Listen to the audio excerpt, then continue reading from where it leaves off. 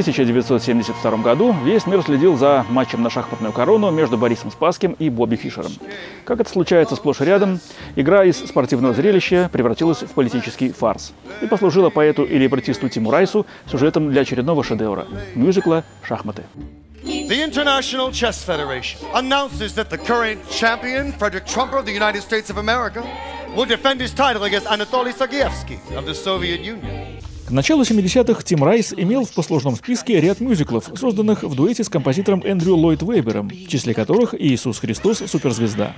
В планах тандема стоял ряд обязательств перед продюсерами, поэтому идея с шахматами оказалась в долгом ящике. Актуальной она стала 10 лет спустя, когда к ней обратились Бенни Андерсон и Бьорн Ульвеус, мужская половина легендарного квартета «Абба». Творческий кризис, помноженный на семейный, стал для музыкантов поводом переключиться на новый проект. Сюжет мюзикла вкратце таков. Чемпион СССР и чемпион мира американец сражаются за звание нового чемпиона мира.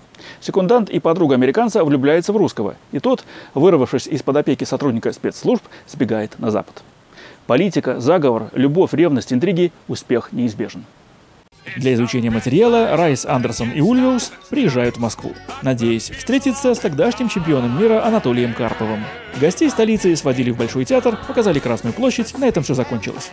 Авторы все же нашли возможность встретиться с русской звездой Аллой Пугачевой и предложить ей партию жены русского шахматиста. Но из этого тоже ничего не вышло. Если бы я послушалась бы Бенни Андерсона, я и сыграла бы роль Светланы в, музыке Чес, э, в мюзикле «Чес», у меня совершенно другая судьба была.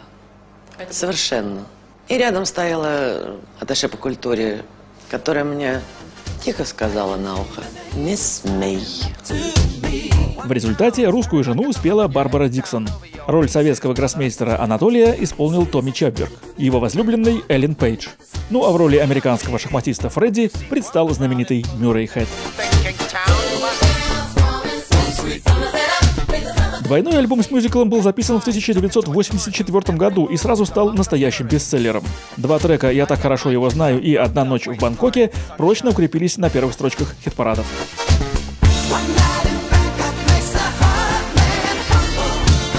Шахматы показали, что Тим Райс способен создавать удачные произведения и без Эндрю Ллойд Уэбера, а Бенни Андерсон и Бьон Ульюс сочинять музыку самых разных стилей. Сложнее обстояло с постановками мюзикла на сцене. Режиссер Майкл Беннет задумал беспрецедентное зрелище, но осуществить его не успел. Спасать постановку взялся руководитель Королевской шекспировской компании Тревор Нан. Он значительно упростил идею, но и после этого спектакль представлял собой яркое, технически сложное шоу с бюджетом, превышающим 4 миллиона фунтов стерлингов. Слишком дорогое удовольствие. Продержавшись на сцене три года, шахматы закрылись в 89-м. Для американской постановки режиссеру пришлось существенно переработать концепцию, ибо ни один продюсер не рискнул вложить огромные деньги в столь грандиозный проект. В Советском Союзе уже шла перестройка, поэтому коррекции подвергся и сюжет. Он стал запутанным, и шахматы превратились в драматический спектакль с песнями, который выдержал лишь 68 показов. Неизменную популярность мюзикла поддерживали его записи, которые продолжали хорошо продаваться. В Советском Союзе их сразу же запретили, назвав антисоветской стряпнёй. На сладости запретных плодов сделал карьеру Сергей Минаев, который перепел все зарубежные хиты 80-х, включая одну из главных тем шахмат. Внутри Бангкока множество порока, опасно день там хоть один пробыть. В середине 90-х театр имени Моссовета представил музыкальную пьесу «Игра», созданную доморощенными плагиаторами на основе мюзикла Тима Райса. В ней использовалась музыка Леннона, Маккартни, других известных композиторов, но это была, как говорится, уже совсем другая песня.